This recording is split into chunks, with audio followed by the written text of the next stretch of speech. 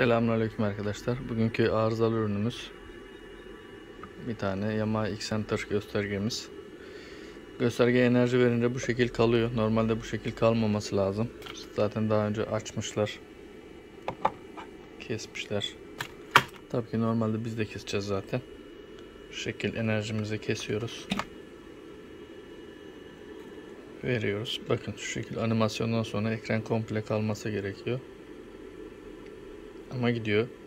Ve dikkatinizi çektiyse bilmiyorum. Ekranın yarısında aydınlatma da yok. Şu sağ tuştan zaten daha önce sıvı girmiş. Onun için bir yerleri eritmiş. Şimdi söküp hep beraber devam edeceğiz.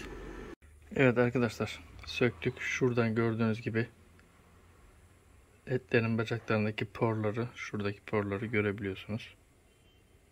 Bakın şu kısımda komple.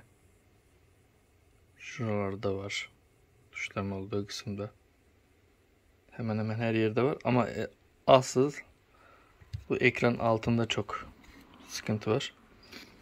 Zaten görüyorsunuz düğmelerin buralarına su girdiği zaman bunun turuncu çubukları var. Şu çubuklar, şu çubuklardan su içeriye direktmen boru gibi aşağıya doğru gidiyor.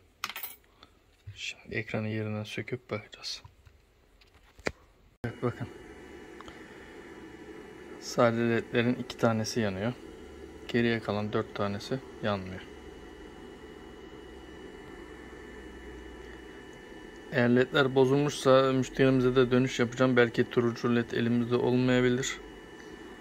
Beyaz ya da amber e, şey e, turkuaz renginde yapabiliriz. Onu da ilerleyen zamanlarda belli olacak. Evet arkadaşlar ekranımızı söktük. Güzel bir şekilde kazasız belasız kırmadan. Çünkü bu ekranlar büyük olduğu için çok çabuk kırılabiliyor. Gördüğünüz gibi esas film burada. Şöyle daha yakından göstereyim. Bakın. Bakın ne hale gelmiş. Zaten buradan girdiği belli. Bakın sağdaki düğme.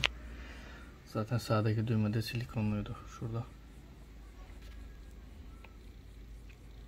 İşlemcinin olduğu taraf. Bunlar temizlenecek, yapılacak. Hep beraber devam edeceğiz. Evet arkadaşlar tamiratlarımızı yaptık. Maskelememizi yaptık. Tuşlarımızı değiştirdik. Ekranımızın arka kısmını temizleyebildiğimiz kadar temizledik. Şimdi montaja geçiyoruz.